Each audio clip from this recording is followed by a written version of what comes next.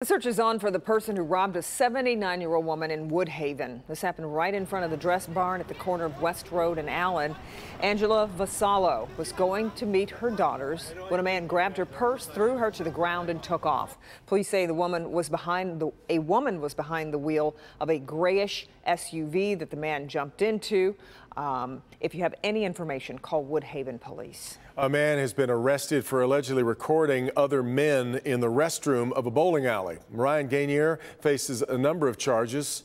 25 counts of capturing and distributing an image of an unclothed person among them. All these incidents happened at the Bowl-O-Rama on Van Horn Road in Woodhaven. Several men reported a man taking photos while they were using the restroom. A judge said Gainier's bail at $25,000. He'll be back in court next month.